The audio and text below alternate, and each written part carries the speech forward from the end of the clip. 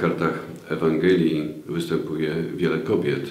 To nie tylko e, Maryja, matka naszego Pana, ale także Maria, Marta, Syrofenicjanka, e, to również Samarytanka, to prorokini Anna. I one wszystkie są jakby też e, świadectwem wielkiego szacunku, jaki Pan Jezus kieruje pod adresem każdej kobiety i na przestrzeni wieków również to się ujawnia w życiu społeczności, e, właśnie też cywilizacji łacińskiej, świata e, właśnie także naszego e, Kościoła.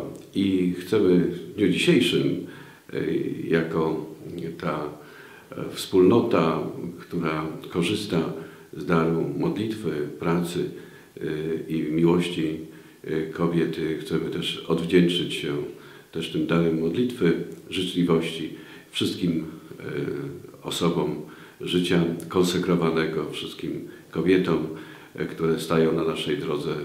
Myślę, że jestem wyrazicielem tutaj wielu. Y, Przekazujemy serdeczne słowa życzenia i zapewnienia o szacunku.